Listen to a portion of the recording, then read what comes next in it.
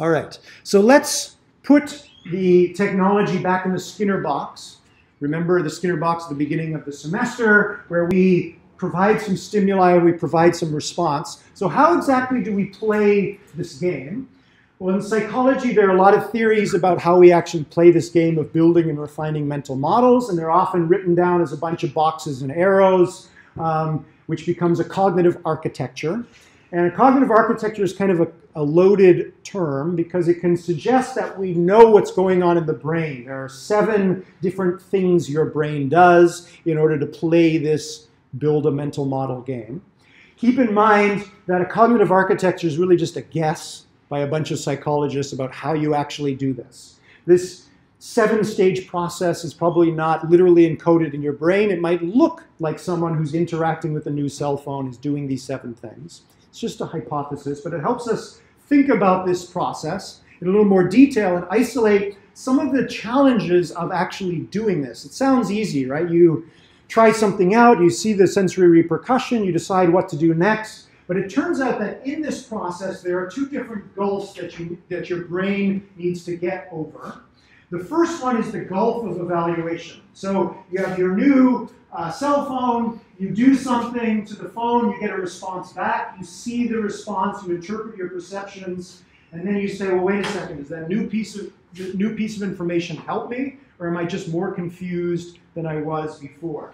How do we know, given this new piece of information, this new interaction with the cell phone, whether we've moved closer to our goal our goal might be to build a mental model. It may be to use the technology to do something. I don't care how it works. I just want it to do something. I did something with it. Did it work? Am I getting closer to my goal? It's the first thing we need to figure out. Once we get over that gulf, we start to, for example, build our mental model and we say, wait a second, we don't have enough information yet. I don't really understand what's going on. I need to do something else with the phone. I need to interact with it in a new way. What new way? What is the new action you should perform to get some more information out of the phone? So let's come back to the starfish here and think about the two gulfs that the starfish comes up against. So the same thing. The starfish says, I did something, the physical robot moved, and I got some sensory data back. Did that help me or not? How does it know? Well, the starfish gets over the gulf of evaluation by saying, I now no longer have seven pairs of sensor data. I have eight pairs of sensor data. I did something, I got this eighth piece back.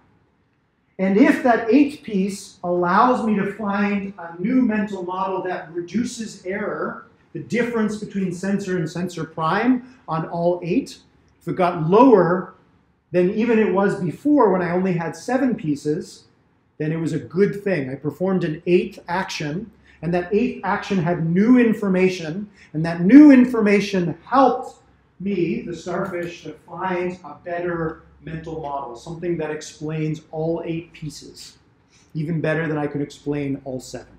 If it can't do that, then the action probably wasn't helpful.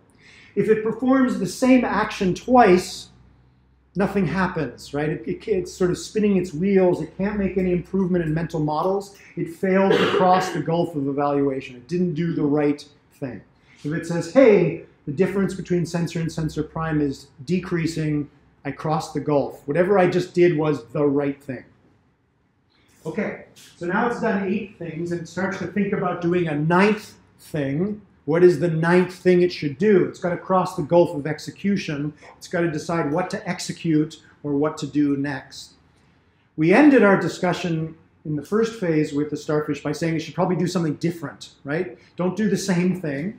Don't even do something randomly, do something different. But what does different actually mean? It's a tricky thing to do. What the starfish actually does is it says, well, wait a second, I don't have one mental model. I have multiple mental models. And let's say in this cartoon example here that our starfish has these two different mental models. And it says, well, wait a second, these two mental models are both accurate, but they're both different. So I have to keep going. I have to do a ninth action. So it dreams up a new action but doesn't perform it in reality yet. It takes that new action, supplies it to mental model one, and supplies the same action to mental model 2 and gets two different sensory repercussions from that one action. Model 1 rotates to the left or tilts to the left. Remember, the starfish has tilt uh, data. The second model predicts or tilts to the right. So I put the word prediction in here. Remember, we talked about the brain as a prediction machine. When the mental model takes in an action and produces sensory repercussions, that's a prediction. The model says, hey, physical, physical self, if you perform that action, this is what's going to happen. But Model 2 says, no, no, no, no, no, no, that's not what's going to happen. This is what's going to happen. So the two models are disagreeing in their prediction. Model 1 predicts that for this action, the physical robot will tilt to the left. This mental model predicts for that action, the robot will tilt to the right. Is this a good action for the physical robot to perform? Yes, right? So they can't both be right, right? One of these mental models has to be wrong, or maybe they're both wrong. Maybe the robot's going to tilt forward. So we know now that if the ro physical robot carries out this action, it's going to get a ninth piece of information that's going to invalidate one or possibly both of these mental models. So what the starfish is actually doing, it starts at the beginning by performing a random action. But the second through the 16th action are not random, and it doesn't necessarily choose the most different thing to do. It chooses the thing about which it's most uncertain. This is now an interesting topic in developmental psychology. Up until we published this paper, the thinking was that if you watch a human infant and they're playing with uh, toys and they're putting objects in their mouth, um, they're doing all sorts of things. It looks kind of random, that they're just randomly exploring what their body can do. But maybe infants are not doing things randomly. Maybe they are doing things actually very systematically. They are performing actions that weed out uncertainty in the predictions of their growing models of, of self. Again, we don't know, but at least for the starfish, this is the best way to proceed. So when the robot interacts with its world, it's interacting non-randomly. And an intelligent, uh, an intelligent user of technology might start by doing random actions, but then consciously or subconsciously, they will start to perform non-random interactions, interactions that are meant to reduce uncertainty in their model of the technology. So, uh, so back here, for example, they might very carefully choose uh, ambiguous messages in which there are two mental models. One that says turn off X is in the options menu, and another mental model that says turn off X is in the messages uh, directory. They can't both be right unless that function is in both subdirectories, uh, sub submenus. So they're choosing actions consciously that reduce uncertainty. Aha, things that say turn on or turn off tend to be in options not within the, the, the X thing, calls or messages. Okay, so far so good? Okay, so um, it turns out that building mental models and then using them for predictions is not really a straightforward thing. There's a lot going on under the hood, and we need to keep that in mind when we're designing technology for people.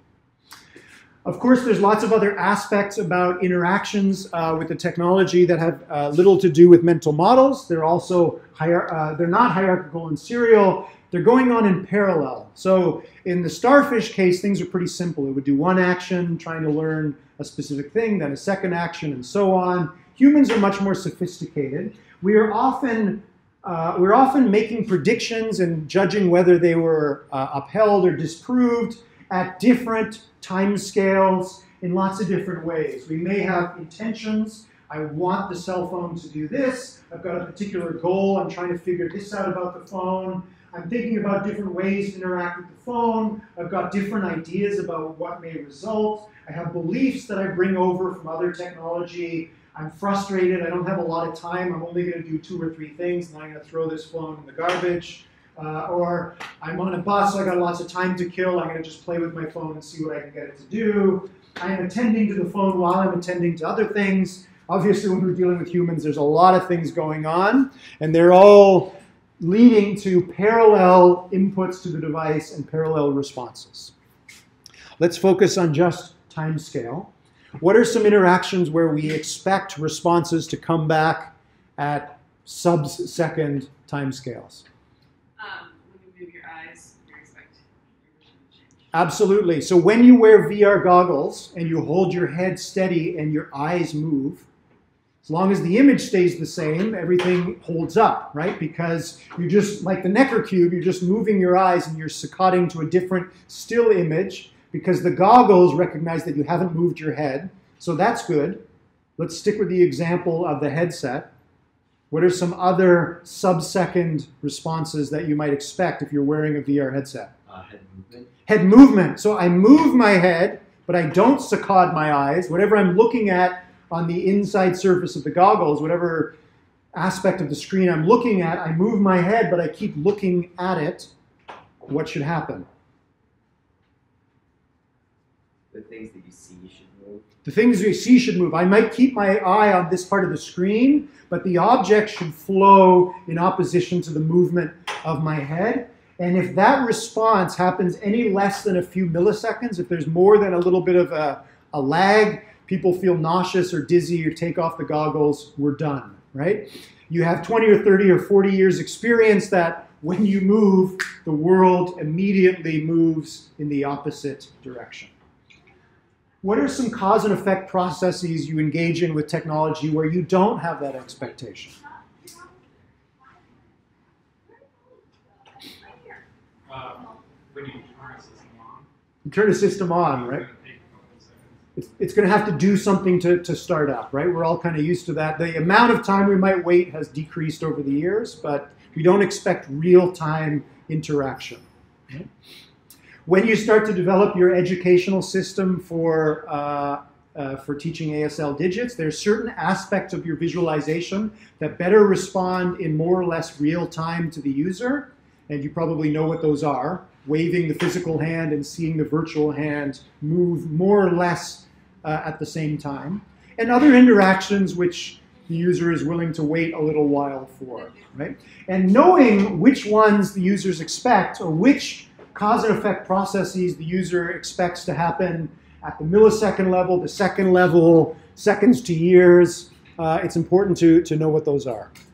So some other ones are moving a mouse. If you move your mouse and the cursor has a bit of a lag, again, that can be extremely frustrating. We've come to expect that interaction to be real time. Uh, entering data, starting up a computer, sending an email to someone. We know there's now a person involved and people don't necessarily respond in real time as much as we would like them to do so. We're willing to wait a little while, right? So we have all these other expectations when we interact with the device that have that don't necessarily have to do with the mental model itself. Okay, so um, humans build mental models, but the human brain has some limitations. Um, it's difficult for us to run simulations internally. You can close your eyes and chart a shortest path to the library, but if I picked a random building downtown and asked you to give me a detailed set of directions about the shortest path to get there, it's difficult to do, right? The mental models that we maintain are abstractions, right? They're not, they're not perfect. Mental models degrade over time. We forget things, right? If I were to email you five years from now and ask you the shortest path between building A and building B on UVM's campus, you might not remember the campus so well and be able to give me a good, a good answer.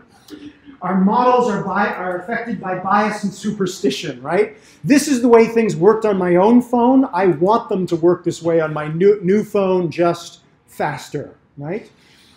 Uh, that may or may not be true, but it biases the way I build up the mental model, and again, we adopt them from, uh, from previous systems. Okay, so how, do, how can we as HCI designers help people build up a mental model? We can make we can make this process harder or easier on our users. What are the design principles? What are the rules of thumb that we might apply to make this an easier process? We might try and provide a system image. So a system image is mostly the user interface, but also other aspects of the system as a whole. Is there an, is there, an overall style to the system? Your style might be to hide most of the internals of the system from the user. If you ask anybody how Google works, they'll say, well, there's something where you type something in, and when I type it in, it goes and gives me back a list. For most people, that's their mental model of Google. And for most people, that's good enough. They don't need to understand the details of page rank and all the rest of it. It's good enough, right? So Google realized that everybody on the planet is going to want to search. So their demographic is everyone.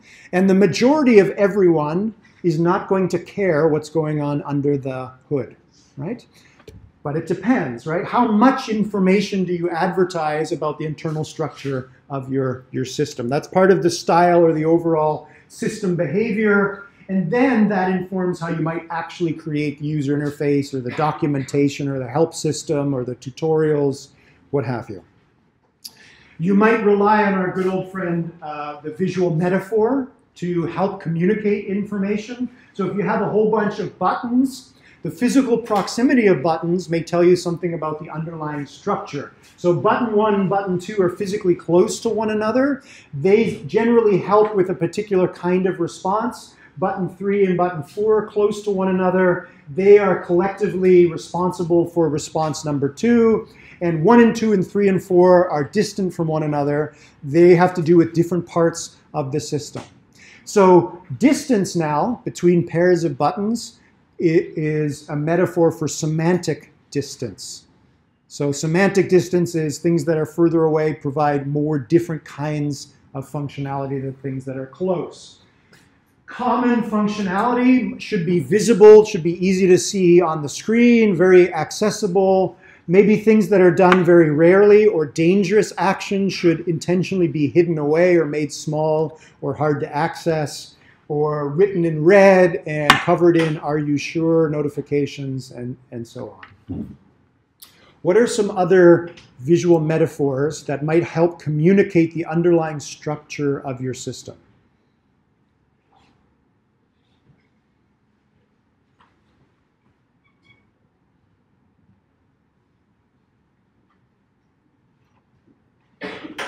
So you're going in a few weeks you're going to be creating an educational system, and in that educational system you will probably walk your walk your user through a series of levels. Level one and level two are relatively easy. Level four, five, six are harder. How might you communicate that to your user? You could write a whole bunch of text saying there are a whole bunch of levels here, and the first ones are going to be relatively easy, but we're going to keep you from doing the later levels, which are harder and take longer, until you've accomplished levels one, two, and three, and so on. Instead of saying all that, how might you visually show something that advertises that? I myself have noticed that if I hold my hand for like a duration of time, it starts to get tired. So for me personally, I want to create like a visual metaphor for like maybe balloons holding up the hand. So like subconsciously, I'm like that not, like freaking out to hold my hand. That could be, right? So maybe the balloons are an advertisement saying there's some structure to the system. We're helping we're helping your hand, right? You may not hold it perfectly steady, right? But we're going to we're going to doctor the image of your hand a little bit as as we go, right? It might be an advertisement that there is a part of the system which otherwise might not be uh, obvious, which is that we're centering the hand, right? Maybe balloons or things that are pushing from different directions could communicate that part of the, the system. It's a good example, right? You're probably not going to write on the screen, um, we're capturing all the data from your hand in a NumPy array, and then we're centering the data using X, Y, and Z. But you could put something that says, the, the position of your hand in our system is not exactly the position in the real world. If you move your hand a little bit, that's okay. We, we're, we're providing a little bit of support. Other examples? You could do like a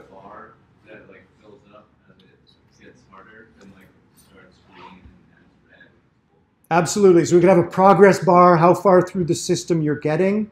There might be barriers placed across the bar, which say that suggests there's some structure to the system. You cannot go to the next level until this bar is removed, which will cause your user to update their mental model. I get it, there's barriers in the system. I can't just arbitrarily skip to a future lesson, I have to progress. So their mental model will then make a prediction which is how do I go about removing the bar? What do I need to do to get to the next level, right? They're playing this interactive game with the system. You've communicated some information, some structure. There are barriers, which becomes part of their mental model, and then they start to think about, use their mental model to predict. Well, I played video games before where there were barriers from one level to the next, and in all those video games, I had to complete level I before I could get to level I plus one. So what does it mean to complete a level in this new game that I've never seen before? Okay, I think we'll leave things there. You have a quiz due tonight, and we'll talk about deliverable six on Thursday. Thanks very much. Okay, so back to lecture. We're gonna uh, lecture 11 is pretty short. We'll probably get through that and make a good dent in uh, lecture 12 today. So let's switch and talk a little bit now about memory, attention, and perception. And the three different aspects of human uh, cognition. Again, these things are very familiar to us because we're very good at it. Your memory may not be great, but it's probably not too bad. Memory is sometimes used as a noun and sometimes used as a verb. I have a memory of my grandmother, and I also practice memory. I remember things, I memorize things. So when we talk about memory, again, keep in mind this is sort of a, a vague concept. We generally know what we're talking about, but sometimes we're talking about the thing, the memory, and sometimes we're talking about the process. When it comes to HCI, what we're usually interested in is focusing on recall and recognition and short and long-term memory, or working and long-term memory. Again, mem memory itself is a fascinating subject. We could spend a whole course talking about it and focus on just these distinctions and why it matters for HCI. We'll come back to that in a moment. Attention, again, is something that seems pretty obvious. Hopefully, I have most of your attention uh, at the moment. Uh, I may not have your attention for the entire lecture. You may find yourself daydreaming from time to time when your attention turns uh, inward, where you may be daydreaming, which we now know is not just an idle process, but you're refining your internal mental models, right? Any inner mental life you have, most of the time it's not just waste, wasted time. You're building up an understanding of self, this lecture, something that happened to you yesterday, last year, what have you. Okay. Then we're going to talk about, uh, the, the last part of the lecture today is perception, and we're going to distinguish between perception and sensation. So for our purposes in HCI, since visual sensation are photons that are falling on your retina, as long as your eyes are open, you don't have much control over that. You passively sense light out there in the world.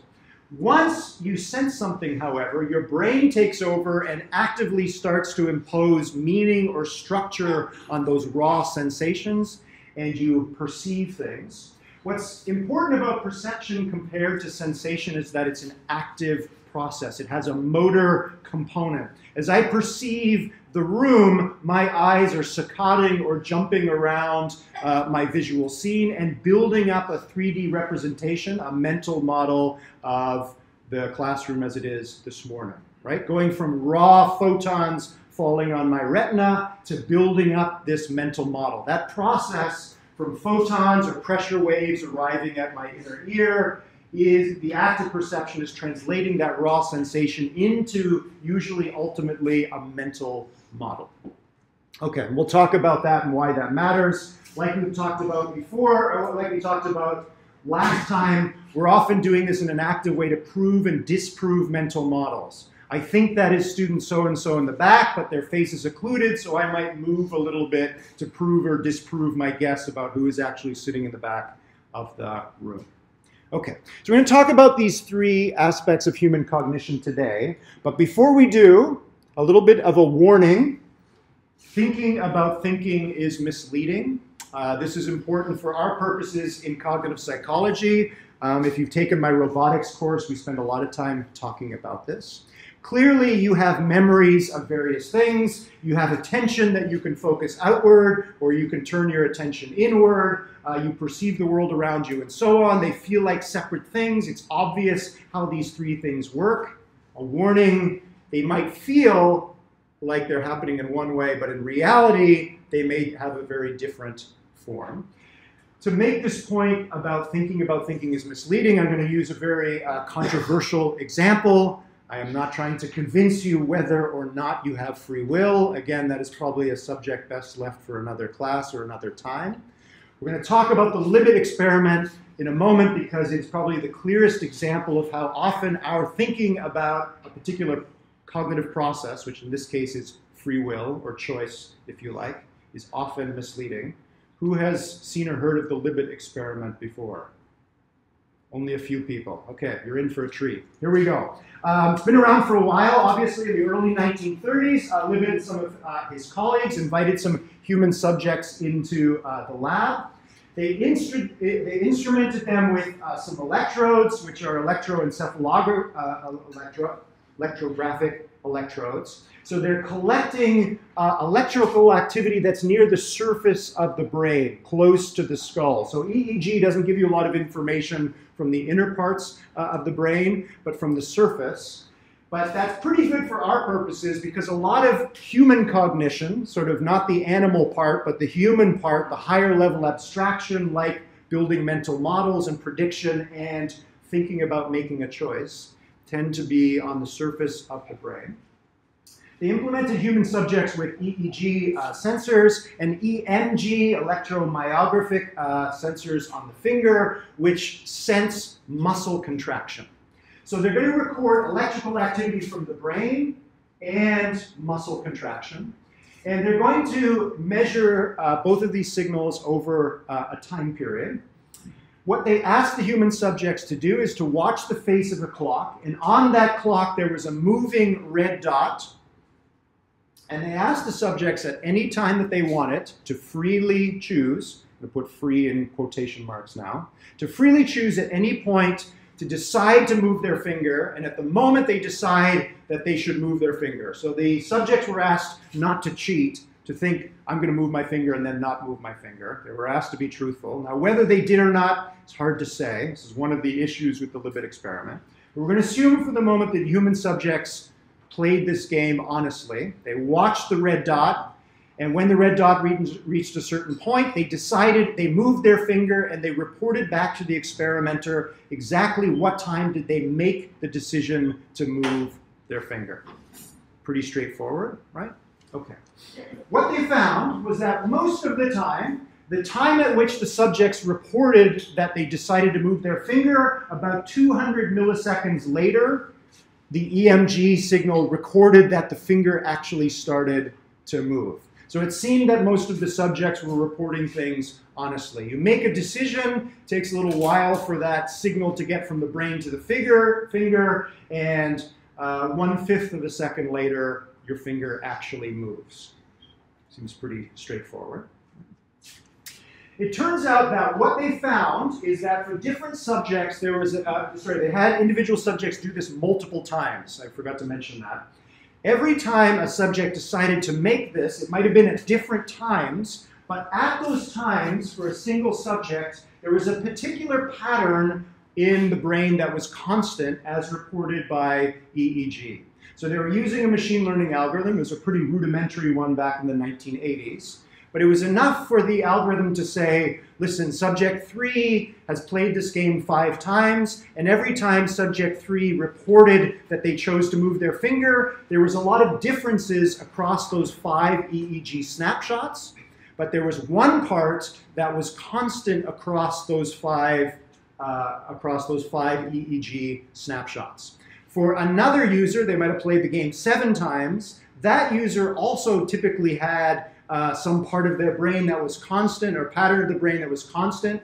But which part and what that pattern was obviously differed from one subject to the, not, the, to the next. Our fingerprints are all unique, so are our EEG signals. What was important is that they could isolate in the EEG some pattern that was only there when the subject decided to move their finger. The rest of the time, in here and in here, that constant pattern didn't show up. So far, so good? Now, whether that part is the part of the brain that is making the decision, that's impossible to say. All we know is that when they made the decision for individual users, there was this constant pattern. Not so surprising. What was surprising is that for all of these subjects, 300 milliseconds earlier than the time at which they believe they made the decision, there was some other part of their EEG signal that was also constant across every snapshot or every time they played this game. Troubling. Why? Question? Well, yeah, uh, humans aren't that good at timing down to milliseconds.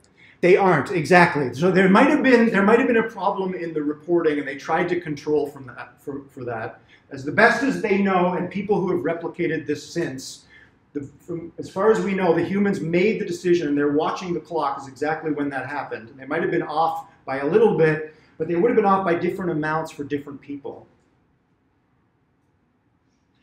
So 300 milliseconds might not seem like a lot, a third of a second, but it's enough.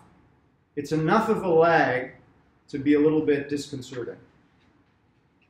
Could it be because like you actually have to process the thought of I'm going to move my finger now, whereas usually just moving finger. Possibly, right? So does it, did it take a while for the decision to actually manifest in your, your mind, right? You decide at this time, but you're aware of that decision, as far as the Libet experiment knows, at this time. But Libet and colleagues knew that you made the decision actually a third of a second earlier. So yes, it might have taken a while for it to reach the constant, the conscious part of your brain.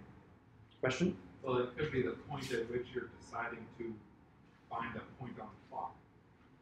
Possibly. Like, like it takes mental faculties to read the clock precisely. That's it. It might be like, okay, I've got to watch the dot and. That's it, possibly. So you can actually play this game without the EEG and the EMG. Get a normal clock that has a second hand that's moving. It's got to be moving constantly. And just watch the clock and try and relax, and then at a certain point decide to move your finger and note the time on the clock. You may, you may realize that there's a little bit of uncertainty in exactly when you decided, but that uncertainty is probably less than a, a third of a second. Again, it's a short period of time, but still pretty long. Okay, so again, we could argue back and forth. There are some weaknesses with this, this approach. It was surprising to the subjects to be told, we know when you're going to make the decision. It's 300 sec- milliseconds earlier than you think you made the decision. So if it is, if the decision is happening in your subconscious and you only become aware of it 300 milliseconds later, you don't have any control over your subconscious. It decides and then tells you to move your finger. So also a little bit disconcerting. Okay. Again, I'm not trying to convince you that you don't have free will. One of the interesting things, many there's many interesting things about the Libet experiment, experiment is that it raises some uncertainty. The subjects before this would have been certain that it was exactly at 2.7 seconds beyond 12 that I made the decision to move my finger, but it was not. It was 2.4 seconds beyond. Yes? So that wouldn't just be like reflex, like versus subconscious like conscious. The reflex over here? Yeah, like So this part is not so controversial, right? This makes sense. I make a decision and I move. You know, it took 200 milliseconds for the signal to get there, plus the time it take, took for me to actually initiate the movement. It's this part that's challenging. This is all the stuff that's just going on in the brain before any moving of the finger. There's a lot, as you can imagine, there's a lot that's been written about the Libet experiment. If you're interested, go and go and read it. It shows us that thinking about thinking is misleading, right? I decided uh, I'm going to have a ham sandwich for lunch right now, but maybe I didn't. Maybe my subconscious actually decided 300 milliseconds earlier or an hour earlier. I just wasn't aware of it. Okay. All right, that's enough about free will for now. So let's come back to uh, memory, attention, and perception. Um, again, just a warning, we're going to talk about these things as they're sort of separate processes, but they're not. They're just manifestations of behavior, so they are not only they're only not just separate processes, but they're also highly interdependent. It's hard to isolate any aspect of human cognition from other parts. Obviously, memory is a result of what we perceive. If you don't perceive anything, there's nothing to remember. Changes in attention change our perceptions, which change what we remember. Our memories shape what we perceive. This one is a little bit tricky uh, as well. What other connections exist? What other interdependencies are there between remembering things, perceiving things, and attending to things?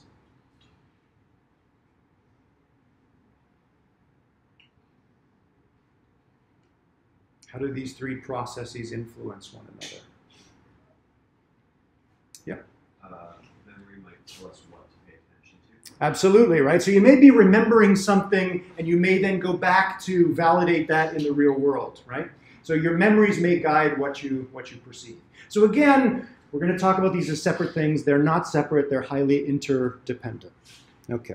As far as we know, there is no separate memory component in the, in the brain. Again, there's a fascinating ongoing uh, argument in the neuroscience literature about the modular nature of the brain. So in this part of the brain, there's memory, there's language, there's perception, there's attention, and there are others that argue that's misleading. The brain doesn't work that way. It doesn't have neat little compartments for the things that we perceive as separate separate aspects of cognition, memory, perception, and attention. Okay. Just again, something to, to keep in mind. Let's start with memory, and we're going to play some memory games now. Like optical illusions, we're going to play this uh, game to see what aspects of memory are easy and which are hard, which matter when you go about creating an HCI interface. In order to play this game, you're going to need to have pen and paper. So if you don't have pen and paper on your desk, grab a piece of paper and a pen. I'll give you a minute to get ready.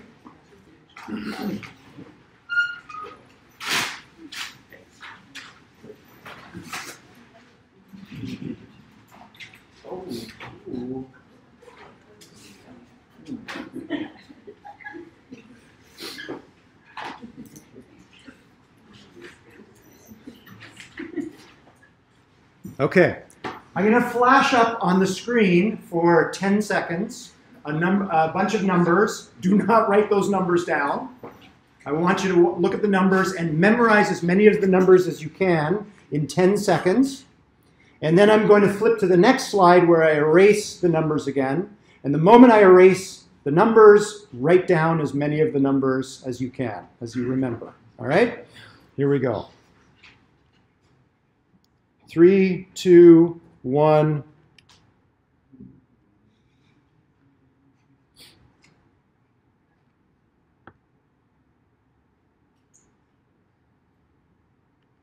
Okay, go ahead and write down as many as you remember.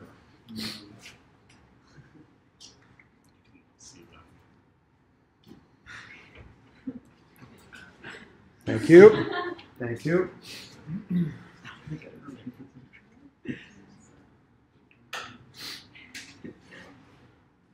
Only the ones that were like s- certain remember. All, all the ones you can remember. Oh, the ones that you're certain to remember. Yeah. Okay. It's up to you.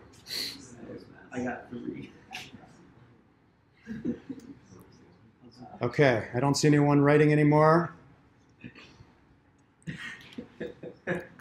How many got one right? That's good. Keep your hand up if you got two digits. Three, four, five, six, seven. Some of you have had your coffee this morning. That's good. Eight, nine, ten, eleven, twelve, thirteen. All right. Well, way to go, Olivia. Okay, very good. Okay. We're going to play it one more time. Different set of numbers. Okay. Three, two, one. Ten.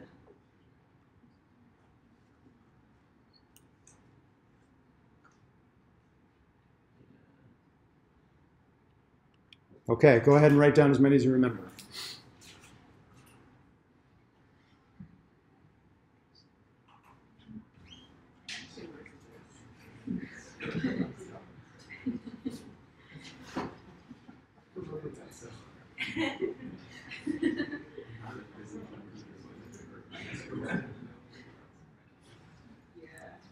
All done? Okay. How many have got one number right? Keep your hands up. Two digits. Three, four, five, six, seven, eight, nine. Still quite a few hands at nine, 10, 11, 12, 13. Very good. Okay. You can probably imagine in this game, many of you did better the second time. Some of you might have done better the second time because you figured out the game. But hopefully, there's another reason why you did better the second time around, which is chunking the information. If you've ever taken a psychology course, you probably heard about this uh, before. Very hard to remember things when you're presented with a wall of numbers or text. Much easier when the information is structured in a particular way or is chunked in a particular way. This is not only chunking, but also trying to put the information together in a familiar form. Although, again, I realize this slide is a little bit dated. Do people memorize telephone numbers anymore? I don't know if that's even a thing anymore, right? I deliberately didn't put any 802s in there. That would have made things much easier on you, right? Then if I had put some 802s in there, we would have switched the game a little bit. Instead of playing the game of recall, which is just remember as many numbers as possible, you remember you recognize things and then you don't need to remember the entire thing right? 802 is not necessarily in your mind 802 you can just remember he put up a, a vermont area code. So if he asks me i know that i got 802 correct. So of, course, this is not uh, an exercise about telephone numbers. It's remembering this idea of visual design. When you present information on the screen or auditorially to your uh, user, you want to try and structure that information in a particular way that makes it easier for them to remember it or at least recognize it. So chunking is this idea. It's a very, uh, very popular idea, been around for a long time in psychology, breaking the information up into manageable chunks when your users use your, uh, use your ASL educational software, they're going to have to not only try and remember or learn the, the signs for the first 10 digits of ASL, they're also going to have to learn and remember how to use your system, right? You could write on the screen a whole bunch of text explaining everything, but it might be good to break things down into manageable chunks and it'll be up, for, up to you to decide how you want to do that. Remember in your final project that you're going to be do, doing user testing and you're going to be measuring user interactions. How long does it take your user to figure out how to play your game and move on to the business of actually learning ASL? It depends on how you feed the information uh, to them. Right? You might not only break up the information, but try and present information in a way that is familiar to them? What might be some familiar ways of presenting information in a user interface? Probably not going to rely on telephone numbers in the ASL educational software, but what are some familiar ways you might be able to present information? Headers and paragraphs. Headers and paragraphs, if we're going to do text, but remember I'm not going to let you do text. We're going to assume that our users don't necessarily speak English as a first language. Absolutely, right? So demonstrations, do what I do, right? So you see the hand in the screen do something and then it disappears. And that may be a nonverbal cue, do what I just did, right? So the user might realize, aha, this system is trying to teach me how to play this game by doing a little bit of Simon Says. The computer does this, and then I have to do the same thing next, right? That's sort of a memorable thing. I get it. I know what we're doing, and it's probably going to show me just one thing at a time, right? Here's how to center my hand over the device, and then it's going to show me, once I've centered my hand, how do I sign ASL? I might then see a short animation that does this, right? I don't necessarily know what that is, but I know that I'm supposed to do that next. It's breaking down the tutorial, teaching someone how to use your system into bite-sized chunks, and presenting it in a memorable way. We're going to play the imitation game back and forth. Okay. Okay, again, an example, I mentioned this before. I've tried to present you not with a wall of text uh, in this course, a whole bunch of uh, slide decks that are broken up into themes, which are put together into an entire course, right? I've not only chunked the information uh, in this entire course, but presented it to you, or trying to present it to you in a hierarchical uh, manner. Okay. Okay, another important aspect of memory that matters for us is short-term and long-term memory. When you do user testing uh, at the end of the semester, you're going to get your user to play with your system for a few minutes, and then two days later, they're going to come back and continue using your system. You're going to do two sets of measurements, the first time they ever use your system and the second time they use your system, and they're going to be relying to some degree on long-term memory. They're going to remember what happened the last time. They could, of course, start from scratch and do the whole tutorial over again, But if you presented information in the right way, they might easily be able to remember it and know what to do the next time, uh, next time around. Okay, so again, uh, in the psychology and neuroscience literature, they often distinguish between short-term and long-term memory, and they talk about them as separate processes. They're probably not. They're just recognizable markers on a continuum of the way in which we remember things. But you've all probably had the experience of working, uh, working in short-term memory versus long-term memory. Uh, working memory doesn't tend to last longer than a few minutes. I'm not going to do this, I promise, but next week if I asked you to write down the numbers from the memory game, probably wouldn't do a very good job, right? You, no need to move that into long-term memory. Those numbers are not very important, right? So one of the things we do, or we seem to do, is choose or somehow move important information from short-term into long-term storage, and that process itself is kind of interesting we talk about long-term memory or long-term storage, there's an interesting question about how much long-term storage do you actually have? How much could you actually remember? Nobody knows, but it turns out, as far as we can tell, that it's more or less unlimited. So there's an interesting calculation you can do, which is the human brain is typically made up of 10 to the 11 neurons and 10 to the 14 synapses. Let's imagine that you live for 100 years. So imagine you live for 100 years. Each year is made up of 365 days. Each day is made up of 24 hours. Each hour is made up of 60 minutes, and every minute is made up of 60 seconds. So if you are lucky to live to the ripe old age of 100, you will have experienced in your lifetime three times 1, 2, 3, 4, 5, 6, 7, 8, 9, 3.1 times 10 to the 9 seconds. You're asleep for about a third of those, so you could cut off a million. Let's say 2.1 times 10 to the 9. You have 10 to the 14 synapses, and 10 to the 9, more or less, 10 to the 9 seconds of waking experience. If your brain were to dedicate, what is that, five orders of magnitude, 10,000 or 100,000 synapses to recording a snap to recording a snapshot of every second of your waking life, you could store, in theory, every waking moment of your life. At the end of your life, while you're lying on your deathbed when you're 100 years old, you could recount every second of your waking experience, in theory right? Again, this is a little bit of very hand wavy. Are there people that do have that? There are people that have eidetic memory, which is where a lot of the experiments come from that suggest, as far as we know, it's unlimited. Now, do you need 10,000 synapses or 100,000 synapses to store the perceptions from one second of waking memory? No one has any idea. But that's a good amount of information to be stored.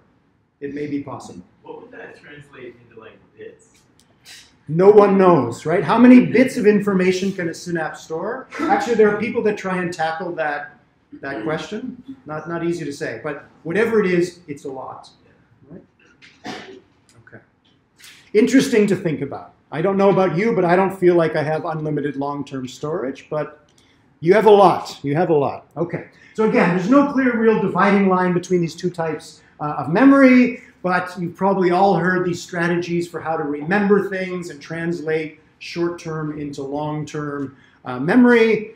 You'll notice if you think about these tips and tricks, they actually rely on some of the things that we've already talked about, which is that memory is an active process, right? Uh, raw sensation is a passive process. Things just sort of fall on our retinas or inner ear. But if we want to remember things, we need to act upon our raw sensations and perceive them. So you can do things like internally rehearse using your inner voice. If you spent the rest of this lecture telling yourself mentally the numbers that, we, that were in the memory game, and then next week I asked you, you'd probably remember more of those numbers. So if you actively speak to yourself internally, you can solidify some of that information. External rehearsal as well. Um, my high school locker, I don't remember what the three code combination was on the lock, but if I had that lock in front of me today, I could probably open it just through muscle memory. Right? You probably had that experience. Again, this is probably old-fashioned now, but the old touch-tone phones. Sometimes you would know a number where you couldn't say what the numbers were, but you could say. Right? So there's something about action which also helps with memory, and sometimes action is more powerful than just mental recall. For some people, it's easier to remember this than it is to memorize 802 dot dot dot dot dot. Okay. The more sensor modalities, the more of your five or six senses that you can bring to bear on recording an event, the more likely you are to remember it. Which is why a lot of your teachers probably told you to actually write things down during lecture, read it aloud to yourself after class, watch the video, write it down again, rewrite it, uh, and so on. And especially rewrite your notes because you restructure the stimulus and you're sort of mixing up the raw perception the, sorry, the raw sensation and pulling out or distilling the structure underneath. So sometimes the brain is lazy and will just memorize the shape of the numbers or whatever it is that you wrote down. But if you keep changing it, there's no specific detail for the brain to latch onto except the one constant signal, which is 802. Uh, when I uh, when I wrote uh, this book that uh, I assigned as writing for some of the lectures with my colleague Rolf Pfeifer, the editor uh, asked us to go looking for typos, and it turns out when you write a full-length book, you can have the most high-powered spell checker and grammatical system you want. There are still certain grammatical errors and spelling mistakes that will get through. So they gave us a little bit of a trick, which turned out to be quite helpful, which was to print the entire draft, manus- the entire draft of the manuscript I then took the last page of the manuscript and I read out loud the last sentence of the book on the last page. As I was reading it out loud, my colleague, uh, Professor Pfeifer, was at the word processor and reading the words on the screen in the word processor as I read them out loud. Then I read the second last uh, sentence of the book, third last sentence of the book, and so on. So you can probably imagine it was an incredibly painful process to go through. Why did our editors ask us to go through this incredibly painful process? It forces you to actually really just pay attention to what you wrote. It forces you to pay attention to what you wrote. You can again play this game yourself. Take your notes and read it from the bottom upward, and you will find all sorts of spelling mistakes and grammatical errors and things that are vague. Because when you read it forward, what happens? You start to expect to read certain things. you expect or predict to see certain things, right? The brain is a prediction machine, which 99.9% of the time is a good thing for us, but 0.1% of the time it's not helpful, like when you're trying to proofread some text, right? Uh, the quick brown fox, dot, dot, dot. Most of us would fill in jumped, whether the word jumped was there or not. Your brain is so good at making predictions, it'll make the prediction and say, yeah, yeah, yeah, I'm pretty sure it's there, let's move on, right? You can break that process. The brain, when it gets lazy, that's all it does is make predictions. So how do you stop it from making predictions? Restructure the stimulus. Mix things around so the brain is actually confused and has to attend, which we're going to talk about in a moment, has to pay closer attention to the actual stimulus. Okay. We can break memory down into short term and long term, and we can also talk about recognition and recall. We already, you may recall, we talked about this already when we were talking about user interfaces. It's much easier to recognize something than recall it. You probably all had the experience where you say, I can't remember that word, or I can't remember where I saw that tweet, but I know I know it when I see it. If you show me a bunch of tweets or a bunch of words or a bunch of images, I'll say, that was the one. That's the one I was trying to tell you about. I may not be able to call it up from recall and tell you exactly what it is, but I can tell you when I see it. It's much easier. One of the things that's important in HCI is to make things easier on your user. We don't want to tire them out and frustrate them. You would like your user to spend as little cognitive effort learning how to use your educational software and save all their cognitive effort for actually learning ASL. Right? So maybe we can rely on recognition rather than recall, which was the basic idea behind the initial, uh, the initial graphical user interfaces. Before that, all you had was a blinking cursor and you had to remember all of the commands to type into a computer. A GUI presents information where you just sort of have to look, visually search for things, and recognize things. So if that sounds so great, why don't we all rely on WIMP interfaces, windows, icons, menus, and pointers? Some of us, myself included, still work at the command line. Why? Recall is faster than recognition. Rec- recall is faster, right? Recognition requires you to scan the screen and find what you're what you're looking for, right? So in order to recognize things, we're going to have to show you things. And remember our discussion about visual design. We want to uh, maximize the data to ink ratio. Ink is on the denominator, meaning we want to use as little ink as possible. You go back and look at the history of GUIs, they used to have flashing icons, and the icons would move around and try and grab your attention. There was a lot of junk on the screen. Most modern GUIs have tried to remove as much as possible and present a clean interface. The minimum amount of ink needed for the user to recognize what they need, what they're looking for. Okay. And then also, depending on the user, it requires some intelligence to decide what to present, right? Pop-ups show up because the operating system is inferring that you want more information. It may be right or it may be wrong. Okay. So again, just an aspect of, of memory here, a difference between recall and recognition, and how that influences HCI design. That's what we're looking for in these four lectures, is the connection between aspects of psychology and how that influences the design of interfaces. Okay, let's switch our attention and talk about attention now.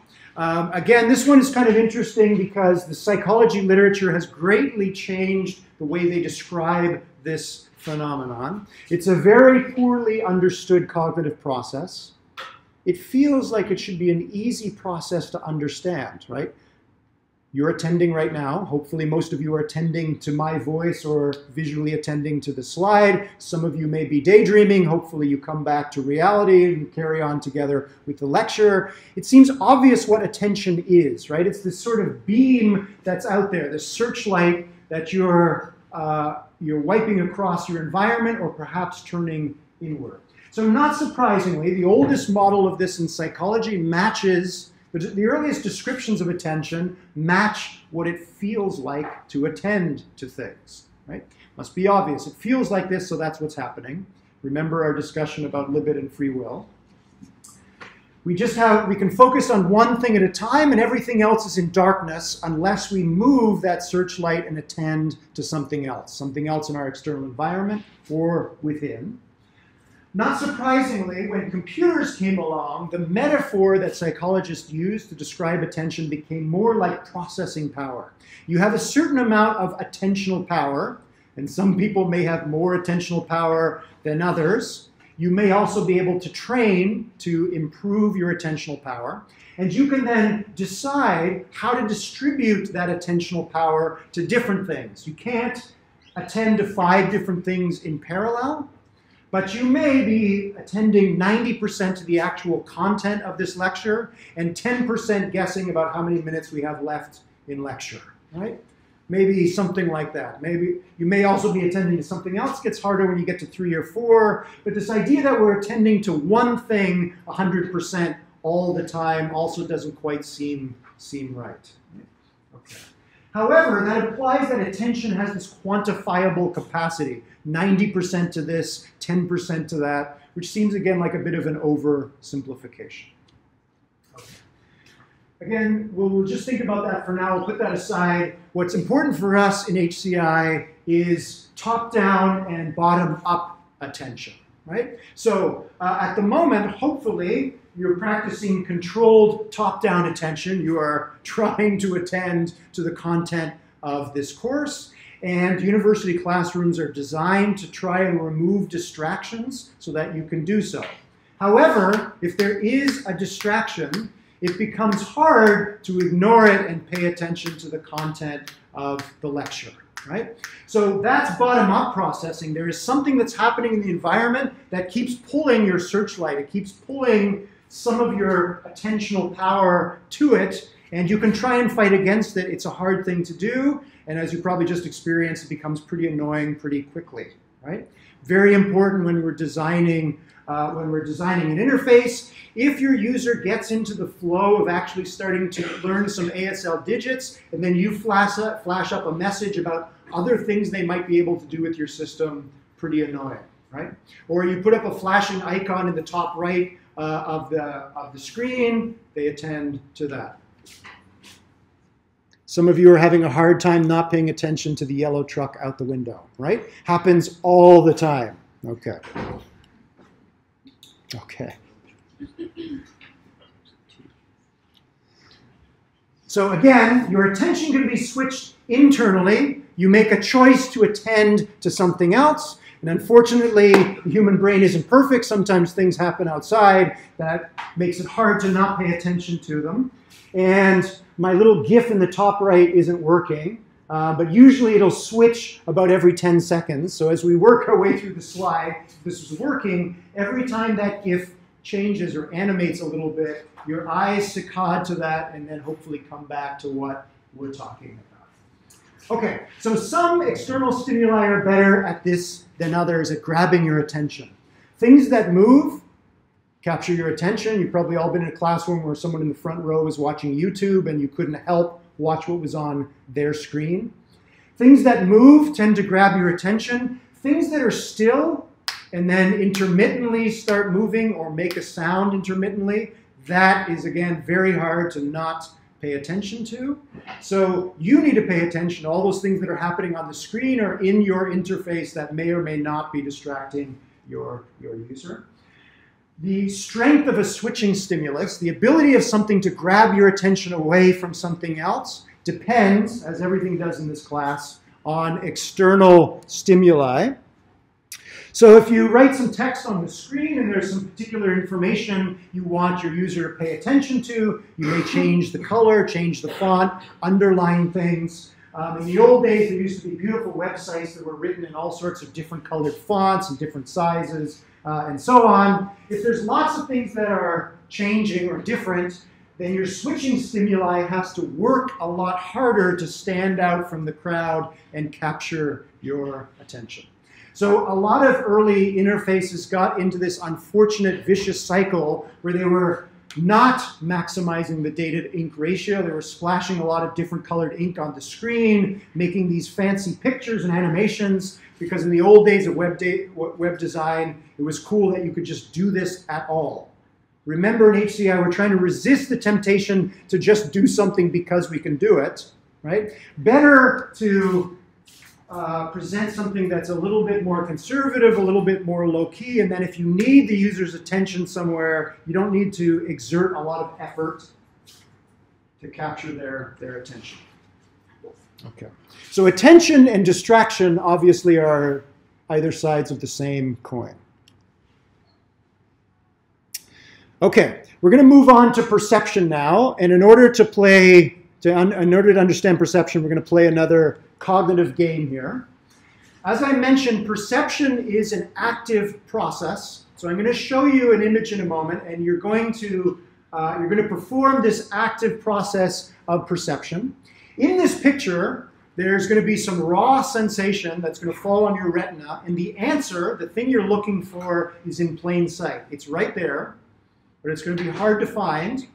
You're going to have to instead perceive. Where's the F?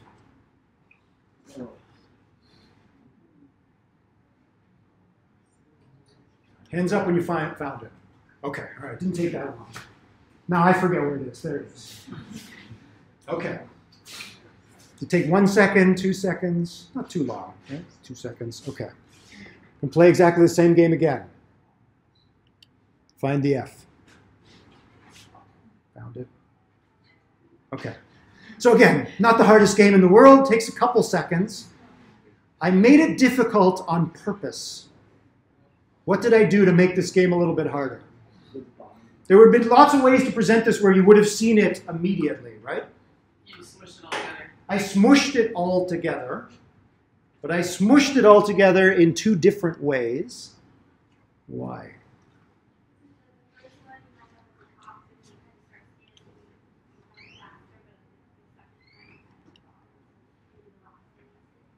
So if you go back and play this game at your leisure, right, you are searching for the letter F, but your eyes are not saccading in a random way. Remember our discussion about the Necker cube, right? The way that you scan the Necker cube, you're trying to prove and disprove mental models. When we perform perception, we're often bringing to bear our experiences from other similar uh, tasks. Why did I smush things together in rows here, but hide the F down in the bottom row? Um, well, the way I think of it is that when you try to scan it, you're doing left to right, and your brain kind of fills in that missing gap.